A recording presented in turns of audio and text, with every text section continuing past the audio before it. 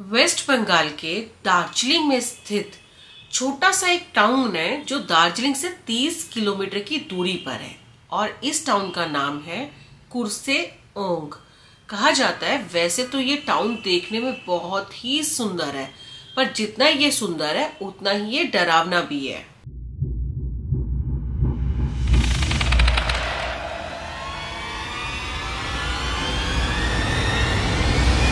यहाँ पर एक स्कूल है जिसका नाम है विक्टोरिया बॉयज़ स्कूल। दिसंबर से मार्च तक के टाइम पे ठंड की वजह से ये स्कूल बंद हो जाता है। तो ऐसा कहा जाता है, यहाँ पर किसी के चलने की आहट सुनाई देती है, बच्चों के खेलने की किलकिलाहट सुनाई देती है। इतना ही नहीं, यहाँ पर जो सबसे ज़्यादा हॉन्टेड मैन फ़ेमस है, वो है सरकटी लाश। वो अक्सर आपको रोडों पे घूमते हुए दिखाई दी जाएगी। अंग्रेज़ी में कर्ज को श्राप कहा जाता है। तो ऐसा माना जाता है, मान्यता ये है कि ये इलाका श्रापित है। ये स्कूल भी श्रापित है।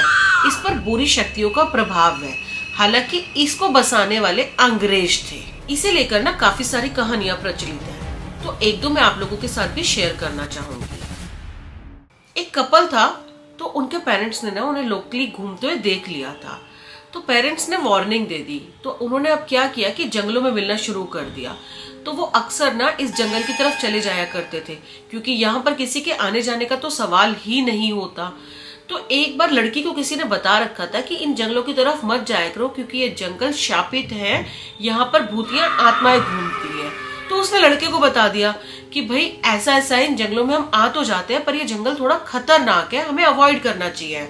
अब लड़के को थोड़ा चुल लग गई। उसने बोला कि है, ऐसा है भूत भूत कुछ नहीं होता। चला, आज मैं तेरा वहम दूर करता हूँ। अब वो लड़का अपनी स्कूटी पे बैठा के लड़की को अंदर की तरफ़ ले गया। अब जैसे ही वो बहुत ज़्यादा घने जंगलों में गए तो उनका फ़ोन काम करना बंद हो गया। अब वो और अंदर जाता रहा। तो लड़के ने, लड़की को बोला कि ये तो एक आम सी बात है, क्योंकि जंगल है, पेड़ इतनी ऊंचाई पर है कि धूप भी ज़मीन तक आने में टाइम लगाती है। तो अब वैसी बात है कि जंगल में नेटवर्क कहाँ आता है?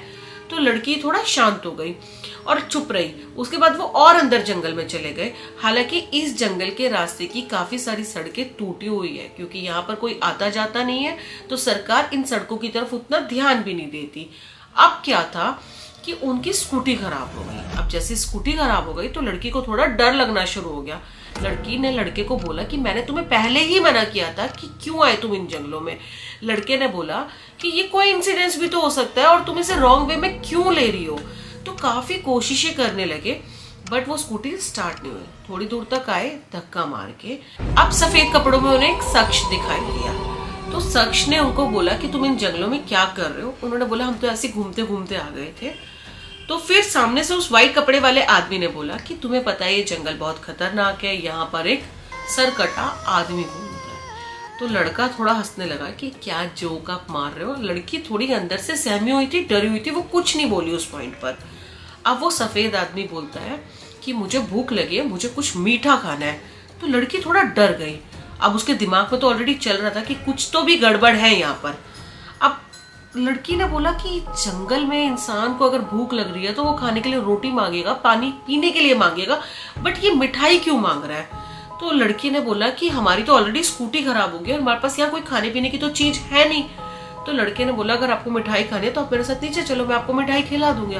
तो आदमी बोलता है नहीं, मुझे अभी खानी है। तो भाई, उस पॉइंट पर लड़का थोड़ा सा डर गया। लड़के ने बोला, नहीं नहीं, हमारे पास कोई मिठाई नहीं है, आप हमें छोड़ दो वैसे हमारी स्कूटी खराब हो गई, हम तो पहले ही परेशान है। तो वो आदमी वहाँ से गुस्सा करके चला गया। अब ये डायरेक्शन में लड़का लड़की गए और ये डायरेक्शन में लड़क, वो व्हाइट मैन गया। अब वो नीचे की तरफ़ उतर रहे थे पहाड़ से और वो ऊपर की तरफ़ जा रहा था। थोड़ी देर में फिर क्या देखते हैं कि वो इंसान वापस दोबारा उनके सामने आ गया। तो भाई ये पॉइंट पे दोनों थोड़ा घबरा गए। हालाँकि लड़के ने थोड़ा हिम्मत से काम लिया और पूछा कि आप तो अभी ऊपर की तरफ़ गए थे। तो वापस आप नीचे कहाँ से आ गए? और रास्ता तो एक ही है। तो उस आदमी ने बोला कि मैं इस जंगल का राजा हूँ। ये जंगल मेरा है, मैं कहीं भी आ जा सकता हूँ। तो भाई साहब, उस मोमेंट पे लड़का लड़की को पता नहीं क्या हुआ, दोनों बेहोश हो गए और दो चार घंटे बाद उन्हें होश आया। फिर वो अपनी स्कूटी लेके नीचे पहुँचे। वैसे तो हम लोगों की कही सुनी बातों पर विश्वास नहीं करते। और जब चीज़ें हमारे सामने होती है ना, और हमारे ऊपर बीतती है तब हमें पता चल जाता है कि हाँ लोगों ने सही कहा था। तो अगर आप उस जगह पर होते तो आपको क्या फील होता? कि हाँ सच में ये सरकटा आदमी कोई आदमी नहीं, बल्कि भूत था। हाँ अगर मैं भी उस जगह होती तो मैं इस इंसान को आदमी नहीं, भूत ही मानती। अब इस बात में कितनी सच्चाई है, कितनी नहीं, ये तो मैं कह नहीं सकती। तो इस जंगल को लेकर इस तरह की बहुत सारी कहानियाँ प्रचलित है, जो लोगों के साथ बीती हैं। तो फ़िलहाल मैं आपको एक छोटी सी चीज़ बताना चाहूँगी कि अभी थोड़ा टाइम पहले दिल्ली के चार दोस्त वहाँ घूमने के लिए चले गए। तीन को पता था बट वो चौथे के बर्थडे पे उसको सरप्राइज़ देना चाहते थे। उन्होंने प्लान किया, अपने फ्रेंड को लेके वहाँ पहुँच गए। अच्छे से बर्थडे सेलिब्रेट किया। उसके बाद उन्होंने नेक्स्ट डे के लिए प्लान किया कि हम इस जंगल में जाएँगे। और जब वो इस जंगल में गए तो उन्होंने गार्ड से बिना पूछे स्कूल के पिछली दीवार से गेट जंप करके स्कूल के अंदर पहुँच गए। अब जैसे ही वो गेट पे पहुँचे तो उन्हें थोड़ा अजीब सा फील हुआ।